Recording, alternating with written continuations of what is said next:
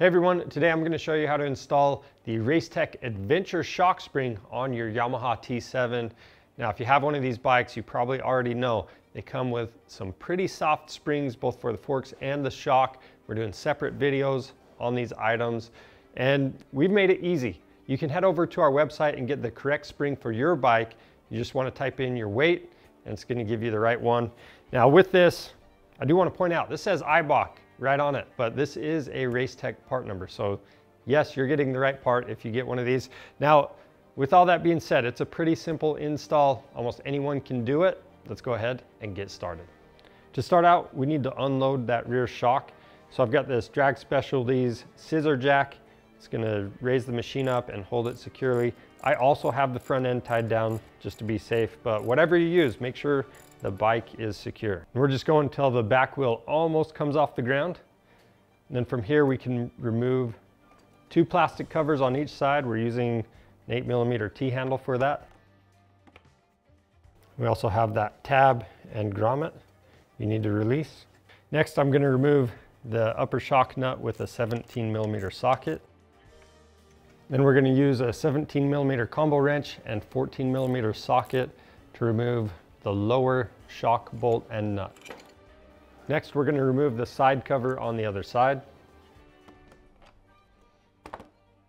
Then we'll use a six millimeter Allen to remove the passenger foot peg. After that, you can use your jack to gain some clearance and that's gonna allow you to be able to remove that upper shock mounting bolt and pull the shock out from the left side of the bike. Now I'm gonna press the upper shock mounting bolt out with my finger that's going to allow me to rock the shock back and out.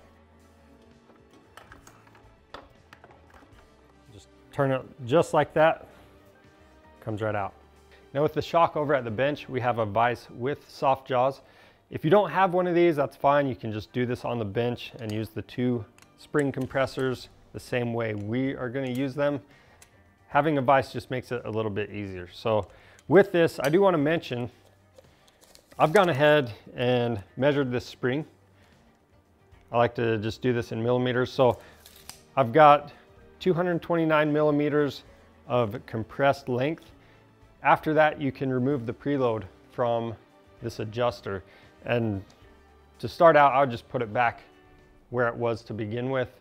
So I've counted the turns. I've backed this off 12 full revolutions. And that's gonna help it be easier to remove that spring.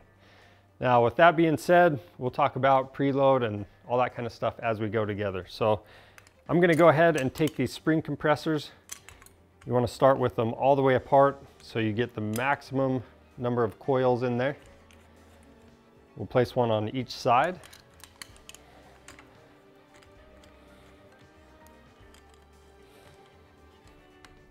And then you want to tighten them as evenly as possible. And then once we have it compressed far enough and have some play, we can remove a retainer from the bottom.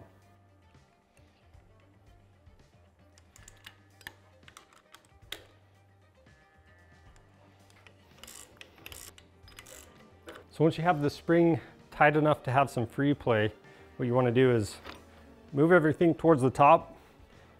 And I've got the bumper at the bottom. I want to raise that up just a little bit. Get that out of the way. And then we've got a retainer. So all we need to do now, rotate this, you can see we have that open end. So that's gonna be pushed up and then pulled out. And that open end just allows it to go around that shock shaft. And then from here, what we can do is loosen these up on the spring. Now for the new spring, you will need these adapters. So make sure you get these installed, one on each end. Then I'm gonna slide the new spring on. And I'm gonna bring this back over to the vise and I'm gonna clamp it again so we have enough room that we can install that retainer once the spring is compressed. Now before I compress this new spring, I wanna measure the free length. So I'm 229 millimeters now Race Tech recommends starting out with 10 millimeters of preload. So once we have everything installed, that's what we'll crank it down to. Now we're gonna compress the spring the same way we did on the old one.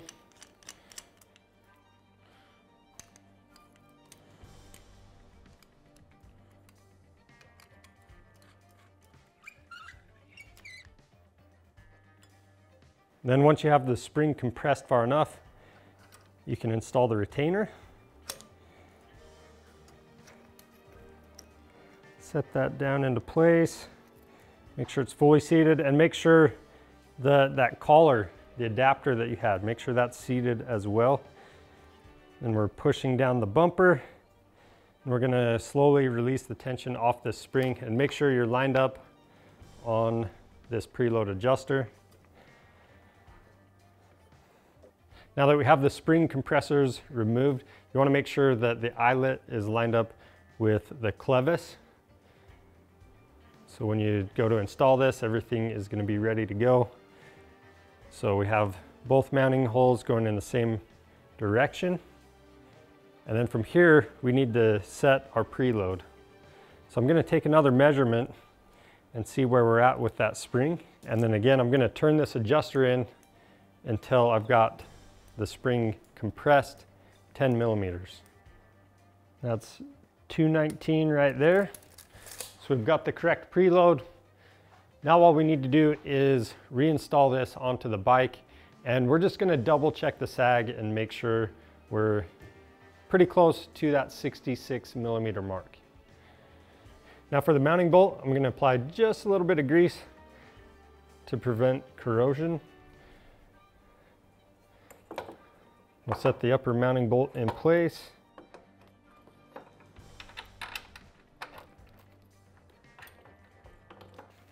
There's a bracket on the other side. You're gonna have to make sure you're lined up there. So we're looking pretty good. Now we can lower the jack down just a little bit until we can install that lower shock mounting bolt. I'm lined up perfect right there. I'm doing the same thing with the bolt, applying just a little bit of grease. Slide it through and then we can install the nuts. Both of these are going to get torqued to 33 foot-pounds.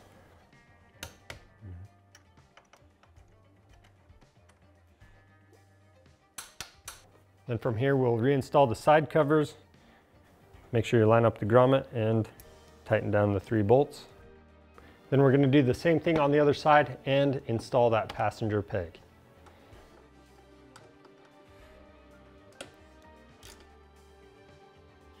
So now that we have everything done, we need to check the sag. And to do that, we're gonna start out by measuring the free length.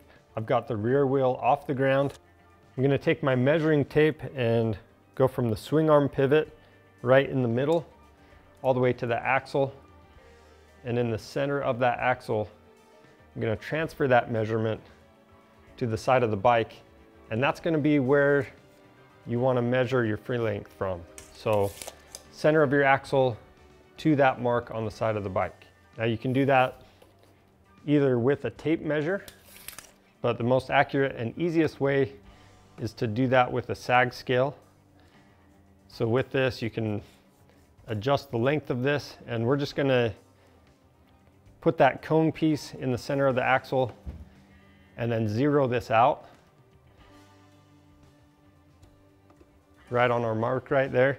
And then the next step would be to take this off the stand. We're gonna have someone sit on it and it's always a good idea if they're geared up and if you have any luggage you're gonna be taking, do this measurement with all that on there.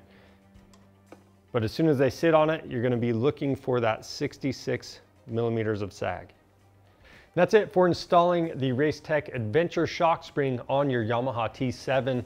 If you need one of these springs, they're available on our website, so go check that out. It's a great way to get the correct spring for your weight range. Again, we've made it easy. You just have a drop down menu and select what you need. You can click the link in the description below. That's gonna take you over there. We offer free shipping on orders over $75. So take advantage of that. And if you wanna see more helpful content like this, make sure you subscribe to our channel. And for any questions, leave those down in the comments. I'm Charles with Rocky Mountain ATVMC. Thanks for watching.